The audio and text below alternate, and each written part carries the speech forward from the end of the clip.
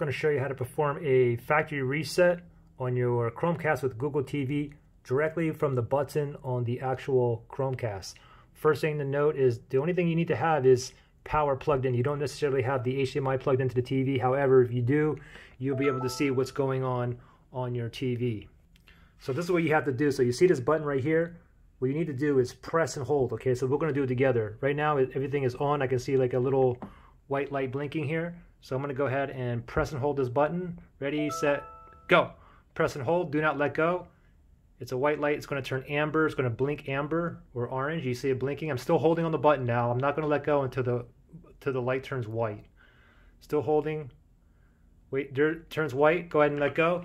And then give it one second. Now you can see that it is performing a factory reset. Erasing. And then this here will pop on and, and this will stay here for about one minute, so just be patient. And there you go, you just performed a factory reset. Now you can go ahead and start off with a clean slate or you can go ahead and just sell it. Pretty simple.